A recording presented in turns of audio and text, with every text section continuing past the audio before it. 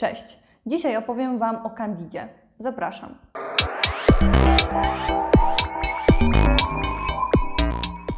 Dużo e, zadajecie nam takie często pytanie, e, co to jest kandida, e, kiedy się rozwija, w jaki sposób sobie z nią radzić, jakie produkty będą pomocne.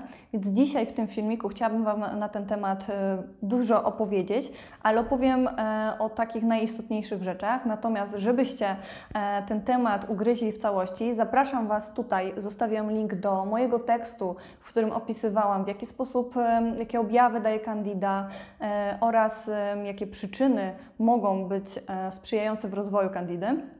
A dzisiaj, teraz tylko tak króciutko Wam przypomnę, że em, wszyscy się boją tej kandidy, natomiast ona jakby w naszym układzie pokarmowym w jakimś poziomie, na jakimś poziomie się utrzymuje, takim, że to jest też flora nasza em, taka fizjologiczna. Natomiast e, w sytuacji, kiedy zaczyna się pojawiać e, nierównowaga w naszym mikrobiomie, zaczyna, się po, zaczyna powstawać przerost bakterii patogennych, to ta kandida wtedy ma odpowiednie e, środowisko do tego, żeby się w większej ilości namnażać. I właśnie ta sytuacja dla nas jest e, kłopotliwa, ponieważ skutki takiego rozrostu kandidy mogą odzorowywać się e, w całości naszego organizmu. Możemy się czuć e, senni, zmęczeni. Niektóre osoby przy bardzo intensywnym przeroście kandidy mówią, że czują się jakby byli cały czas pod wpływem jakichś trunków alkoholowych.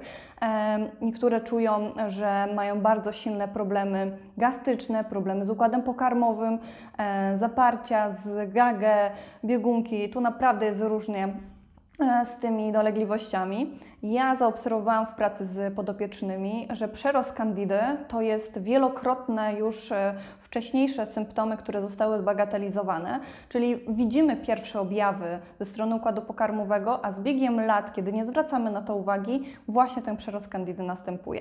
Więc słuchajcie, najważniejsze jest to, żeby obserwować swój organizm, wyciągać wnioski z tego, jakie sygnały nasz organizm nam e, przekazuje e, i przeciwdziałać temu. Więc jeżeli obserwujesz u siebie na przykład dodatkowe elementy, takie, e, takie jak podstawowe objawy ze strony układu pokarmowego, plus do tego jeszcze takie typowe świadczące o przeroście kandidy, czyli na przykład łupież pstry, który wygląda jak takie plamki na ciele, i przy słońcu mm, nie ma, e, nie zmienia się jego koloryt, ty- e, nie zabarwia się na skórek, tylko zostaje biały. To jest już jeden z objawów.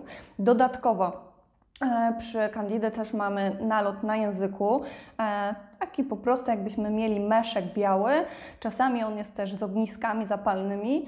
Zdarza się również, że mamy takie epizody egzem skórnych czy różnych wykwitów na skórze, więc to też obserwujemy, to już są naprawdę zaawansowane przerosty kandidy. No dobra, ale jeżeli już wiemy, że ta kandida w naszym organizmie robi nam psikusy e, i się rozrasta, to co zrobić, żeby mm, tą kandidę zwalczyć? Przede wszystkim należałoby się dowiedzieć, na jak zaawansowanym poziomie jest ta dolegliwość. Tutaj należy zrobić badania laboratoryjne. Jest naprawdę w wielu laboratoriach możliwość do zrobienia tych badań, zarówno z moczu, jak i z kału, z posiewu. Naprawdę wachlarz jest olbrzymi, szukajcie, znajdziecie. Ja polecam bardzo zrobienie badania e, w Feliksie w laboratorium. Tam też można zrobić badania w kierunku pasożytów i przy okazji również kandidę. Dodatkowo warto zrobić e, ocenę mikroflory bakteryjnej. Tutaj mikroskan z Vitaimun bądź Kyber Compact Pro z Instytutu Mikroekologii. Dodatkowo fajnym badaniem, które też e, nie tylko ocenia nam przerost kandidy, ale dodatkowo mówi nam o jeszcze innych problemach jelitowych, jest też e, badanie z firmy Alab, które nazywa się GastroOrganics. Jeżeli chcecie tylko i wyłącznie sprawdzić kandidę, to to jest e, parametr, który nazywa się dearbinitol. Robicie tylko to i nic więcej. Natomiast jeżeli już poświęcacie czas na badanie, ja sugeruję, żeby poświęcić też em, swój czas na to, żeby on był bardziej owocny i zrobić również badania szersze, czyli oceniające nasz mikrobiom, o których już tutaj dzisiaj wspominałam. Więc jak już zrobicie badania, wiecie co, co się dzieje na jakim poziomie mamy dolegliwości i też które dolegliwości nam towarzyszą, to warto wprowadzić przede wszystkim dietę. Nie same suplementy, nie samo leczenie farmakologiczne, ale również wspomagająco powinna tutaj występować dieta. Przede wszystkim to, co jest największą pożywką do tego, żeby kandida przerastała w naszym organizmie, to są słodycze wszelkiego rodzaju. Tutaj nawet to, co podstawową jest rzeczą, czyli cukier biały, wszystko wyeliminowane. Słodziki również powinny być w zmniejszonym ilości, a czasami nawet e, w zaawansowanych e, przerostach powinna być całkowicie wyeliminowana. Pamiętamy też, że biała mąka, pszenica, chleb, wszystkie produkty piekarnicze też powinny być zminimalizowane w naszej diecie. Zdecydowanie tutaj drożdże, które wspomagają przerost tej kandidy, powinny być zniwelowane. Ja wiem, że ciężko jest zrobić chleb bez drożdży.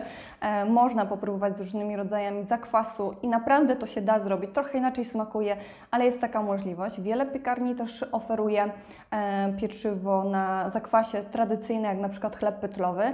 Jest to jakieś tam rozwiązanie, e, ale żadnego rodzaju właśnie e, pieczywo czy wyroby piekarnicze, takie słodyczowe, ciasta, pączki, wszystko co jest na wypiekaczach i drożdżach powinno być również wyeliminowane, przynajmniej na te pierwsze trzy miesiące pierwszej fazy eliminacji.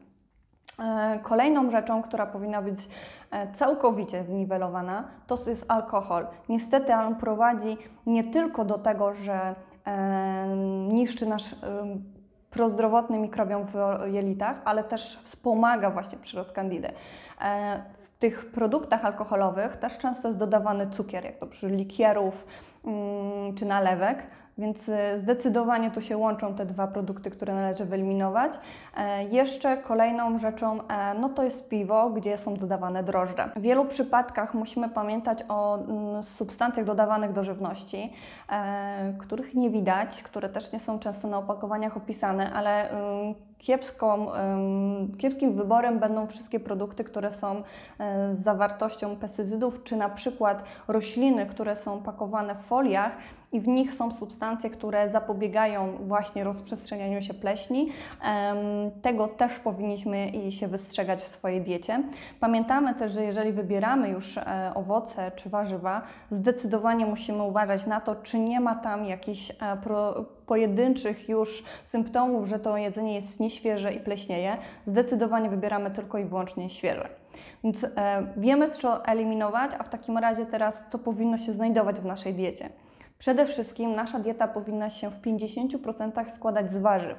Najlepiej tych, które są świeże, e, surowe bądź po delikatnej obróbce termicznej, parowane e, albo takie blanszowane, byłyby najbardziej wartościowe. E, musimy pamiętać, że warzywa są podstawą naszej diety i powinny e, znajdować się na naszym talerzu e, w taki sposób, żeby zajmować jak najwięcej miejsca. Kolejną rzeczą no to są owoce.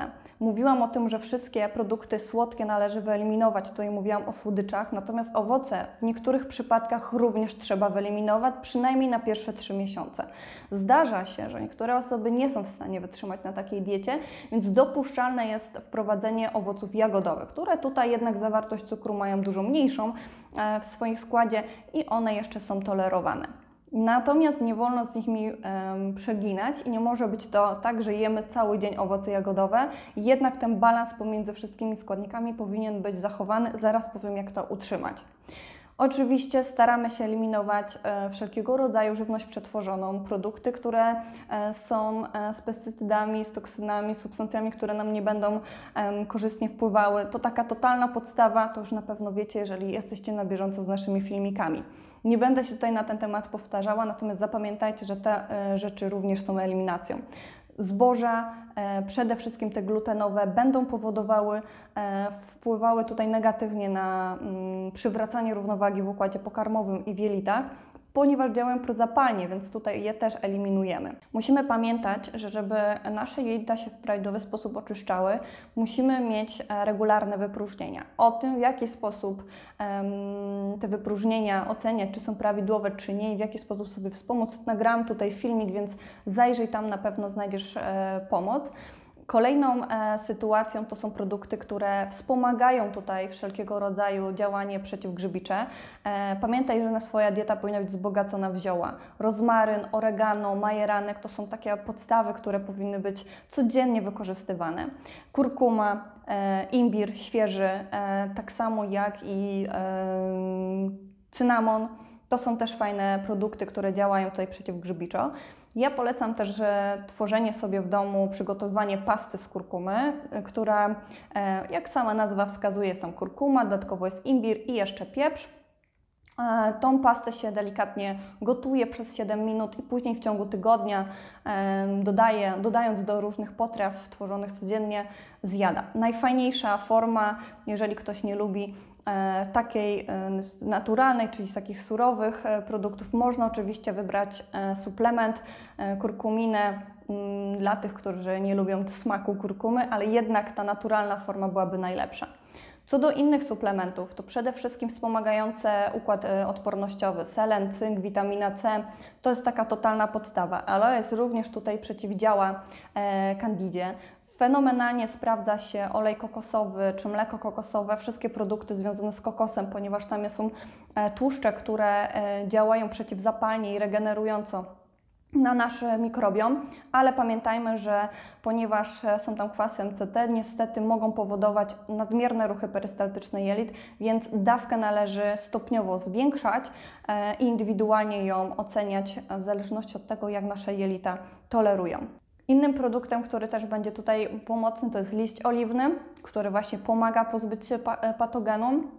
Pamiętamy, że przy kandidy często zdarza się, że e, towarzyszą nam też pasożyty.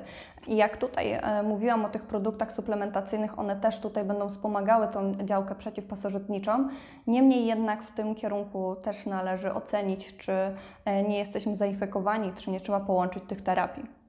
Mam nadzieję, że filmik e, Ci pomógł. E, daj znać w komentarzu, czy kiedykolwiek się diagnozowałeś w kierunku kandidy, e, jak sobie z tym wszystkim radziłeś. Oczywiście subskrybuj na, nasz kanał, żeby być na bieżąco i pozostaw po sobie ślad w postaci lajka. Do zobaczenia w następnym filmiku. Aha, najważniejsza rzecz. Słuchajcie, jeżeli Was ten temat interesuje, mamy na naszej platformie ivendieta.pl film, e, w którym macie szereg informacji odnośnie kandidy, jelit, więc zachęcam Was do tego, żeby sobie go obejrzeć. Zostawiam link.